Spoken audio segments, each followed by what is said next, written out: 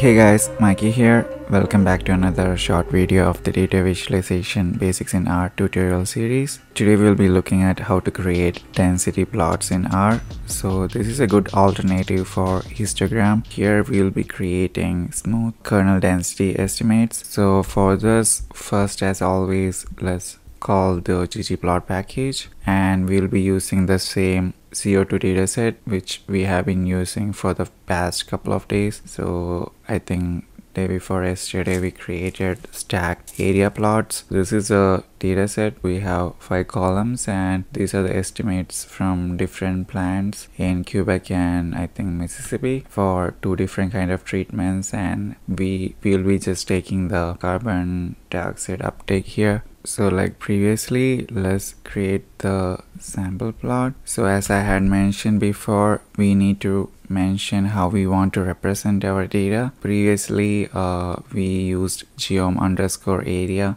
to create area plots. For density plots we need to use geom underscore density. So this is a smooth curve that we get which is very similar to the histogram. I know this don't make much sense so let's try to separate things based on the plant.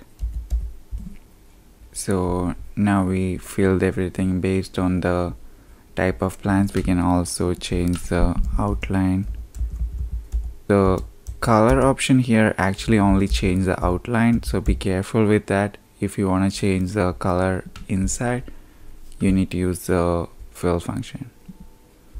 So now you see that the outline changed from black to the same color as the uh, fill right? We can also change the transparency using alpha so that it might look a bit better. Yeah maybe maybe we don't need we can keep the outline as black itself. That might be better. Yeah i think i like this more. Okay well uh, that's all for now.